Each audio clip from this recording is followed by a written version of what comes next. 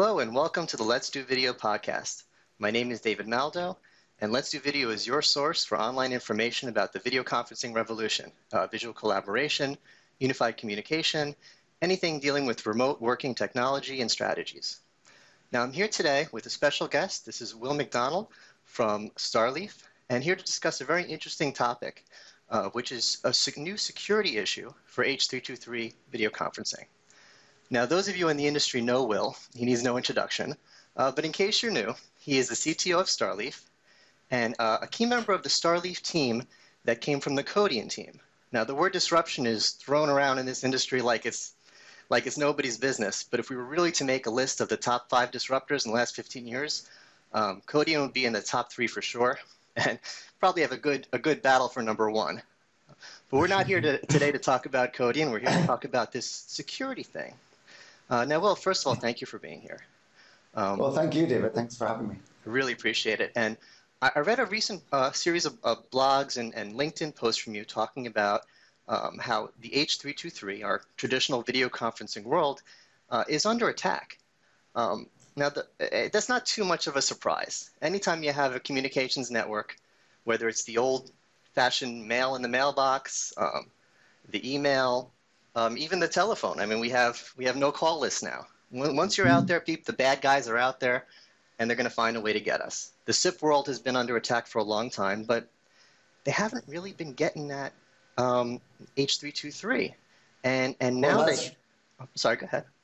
Yeah, that's right. And I think part of the reason that H323 has been exempt for so long is because compared to SIP, it was such a small target market. Mm. Like when the computer viruses started coming around, Macs were immune for a long time because there just weren't enough of them.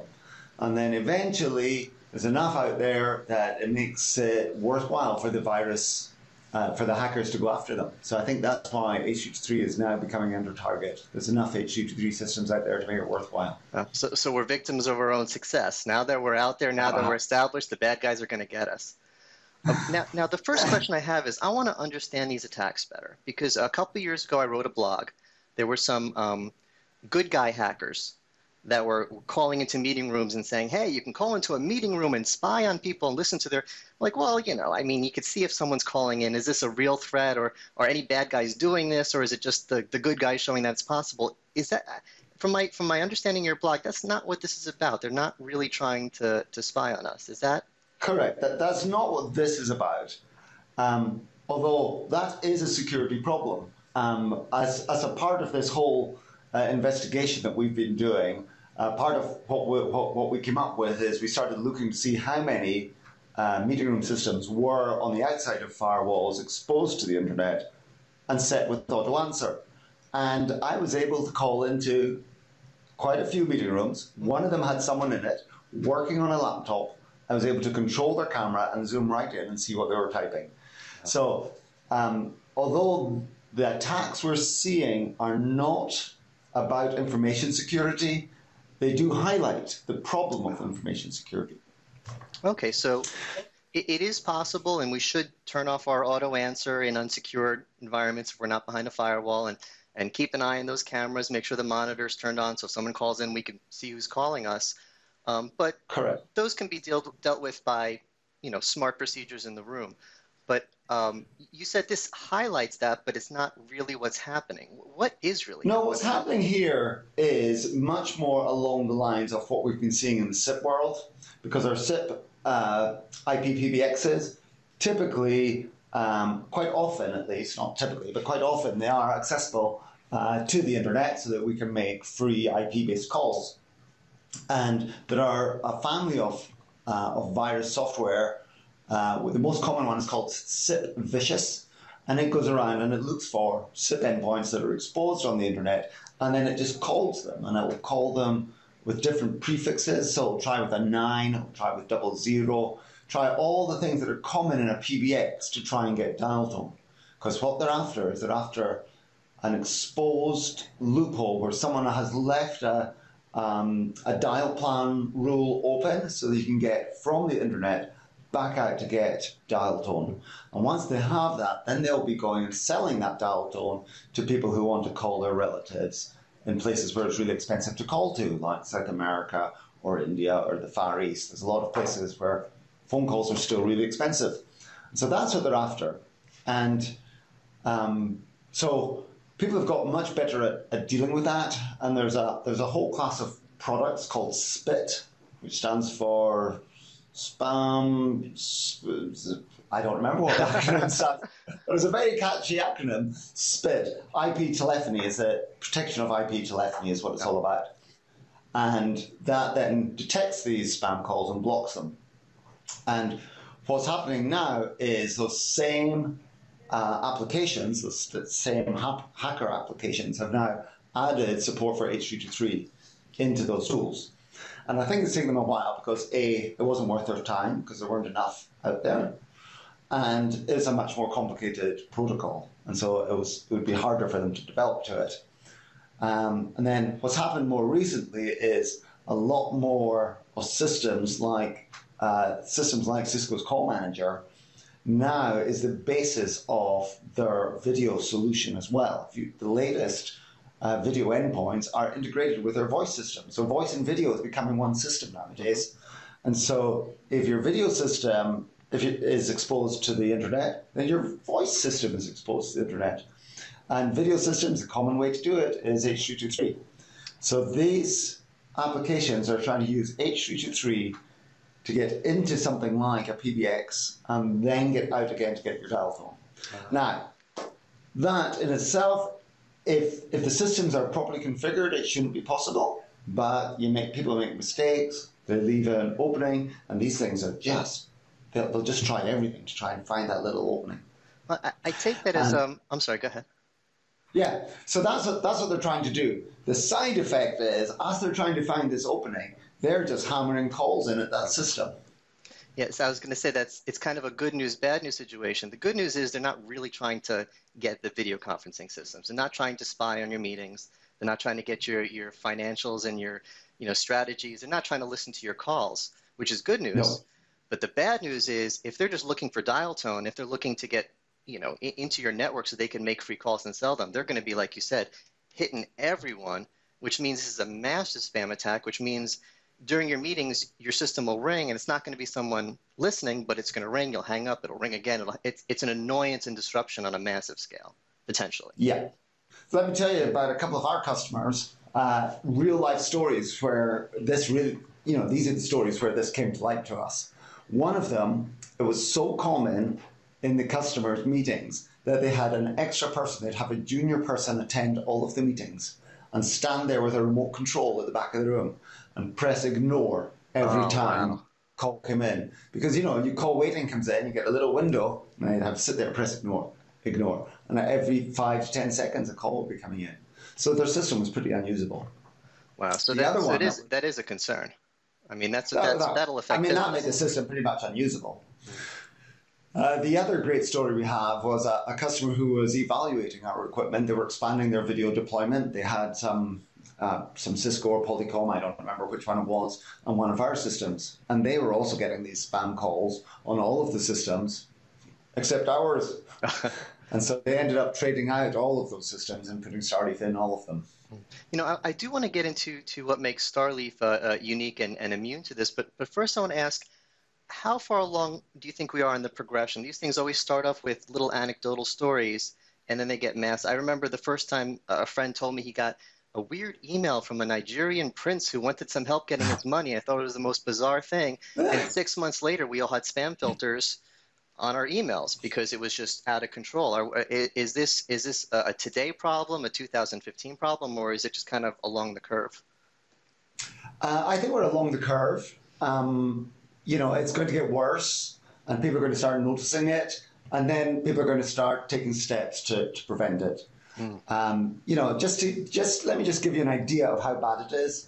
Here's a quick screen share. I mean, this is a log of one of our devices, um, the, and it, you're seeing here the calls are coming in, you know, 10 seconds apart, 39, 45. Wow. So about 10 seconds apart, and you can see different uh, prefixes being tried.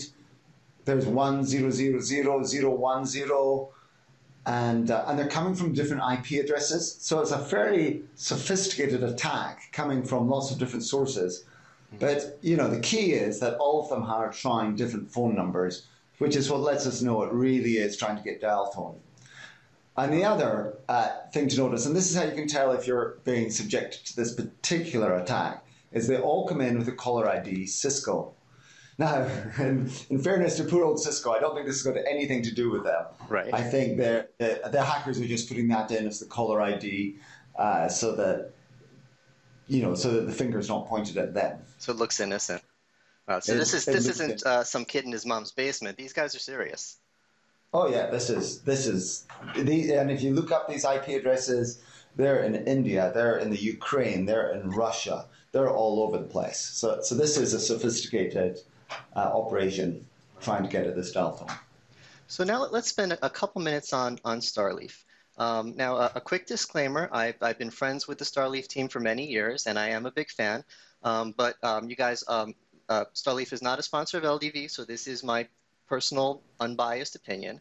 Um, I just, you know, I think it's a, a great product. Um, uh, aesthetics aside for a minute, I want to get to the aesthetics of it, but uh, of course you have the interop cloud support that everyone's looking for, and uh, a very unique workflow, which I think is great. You support the traditional uh, scheduled calendar meeting, which is how we met today, but you also support a very direct phone-like um, direct dial. I, we've always wanted a video phone. We didn't want video conferencing. That's a different thing that people have to learn want to make a video call the way we make a phone call. And, and Starleaf allows a very natural um, phone call, like video call experience, which I think is great for adoption.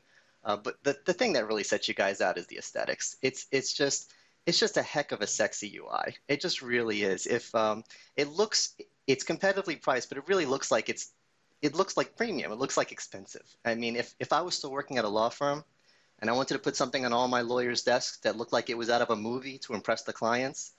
Uh, yeah, Starleaf would be the beginning of the discussion and, and maybe the end of the discussion. It really, it really looks great and it's really cool. But, um, you know, my, my unbiased opinion aside, if you guys are an interop cloud solution and I can call into you from my H323 uh, systems, how are, how are you guys any less vulnerable than everybody else out there? What, what makes Starleaf immune to this?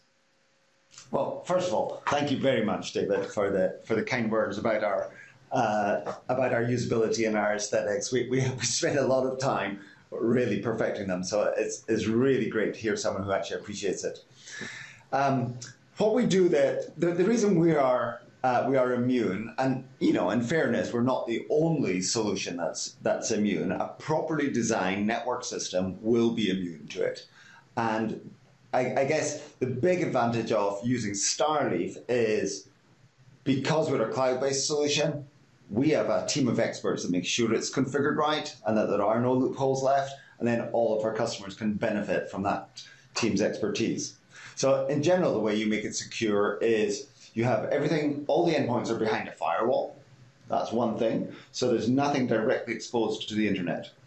We do have internet points of presence where people can call our users, and we sit and we just like the the, the SPIT uh, technology I told you about earlier for SIP, we monitor those calls, uh, monitor those points of presence, and any calls coming in that aren't destined to one of our registered users. So if they're trying to guess an ID or a, an extension, then we're going to detect that and we're just not going to propagate the call. We're going to terminate it right at that point of presence. So it never hits our main infrastructure. It gets stopped at the firewall. And I mean, so we, we still get hit that log I showed you with hundreds of calls on it. Those were the spammers trying to hit us. So we're not uh, immune to being attacked. We just have defenses in place to stop the attack getting anywhere near our infrastructure. Oh, kind of like the, the spam filter on my email. I still get hit with them every day, but they're not in my inbox. They're not affecting exactly. my business. Exactly, exactly the same uh, scenario. Now, the difference between Starleaf and um, if you were to run your own infrastructure, that would be equivalent to you using something like Gmail, which has a spam filter that Google manages for you, versus you installing some scripts and writing some code and or installing some software on your own laptop where you had to manage it. Mm-hmm. And you know, you've got to believe that Google can do a better job than yeah. you could do yourself. Yeah, you can't you can't leave. Although I'm sure you're very skilled at, at, at, writing scripts and so on, David. Uh, Google, not as much as I'd like to be. Yeah, it's it's in video conferencing. People have enough trouble ad- adapting from the phone world to the video world, and we want to make it easier for them. Um, you really don't want to leave things to to the to the users. You don't want the users to have to protect themselves. The more you can bake into the solution, uh, that's another thing I like about Starleaf. Uh, one thing you need to do for video is another example of, of, of how you guys do that. Um, you need to make sure your network connection is good. So I can use my yeah. own tools to diagnose my network, and then uh, but Starleaf, I don't know how it works, but there's something in the background. I noticed when I was uh, either when I was installing or when I was making my first call, I got a little message that you guys were checking my bandwidth to make sure it was correct. I'm like, yeah. oh, they're taking care of the users. You, you really, you really can't ask the users to do it for themselves, and that goes for that goes for the security as well. Yeah, absolutely. So our stuff all sits behind firewalls, including our endpoints. So you sitting at home in your home office, you've got whatever firewall and or network router you have in place. We go through that router securely. It's all encrypted. We measure the bandwidth. It, it just takes all those decisions out of the user's hands. They just have to choose who they want to call and press that button. Yeah, uh, on that that heck of a, a sexy UI. It really looks like you guys were spending a lot of time looking at Apple design. Uh, everyone's, everyone wants to look like an Apple design, but uh, the the Starleaf one, that's the one when I show it to um, friends and colleagues, they go, "Oh, that one looks nice. Is, is that an Apple thing?" I'm like, no, it's it's it's, uh, it's Starleaf. So uh, fantastic. Yeah. So um, okay, well, I, I, really appreciate. it. I learned a lot today. I've learned. Uh, I think the key takeaways here are that this is happening and and it's for real. This isn't just you know Will wants to make a big deal because his system is immune to it. It is actually happening in the world, and everyone's going to have to address it. Um, it's safe to have your video conferencing systems in your meeting rooms. It's not that people are trying to spy on us, although it does show the vulnerability. So put your precautions in case, but don't start throwing your video conferencing. Don't start unplugging them. It's okay. Uh, this is an annoyance and a disruption thing. It's not a, a security. Well, it's a different kind of security thing um, and that it is happening. So we need to need to be ready for it. Um, anything else you'd like to, to share with our, our viewers on this topic before we before we wrap up? Well, if it's bothering them, they just need to give us a call. there you go. You can check them out at, at starleaf.com. Um, and uh, for, for more videos like this and information about collaboration, please check me out at letsdovideo.com. So uh, thanks, thanks so much, Will, for joining me. Thank you very much, David.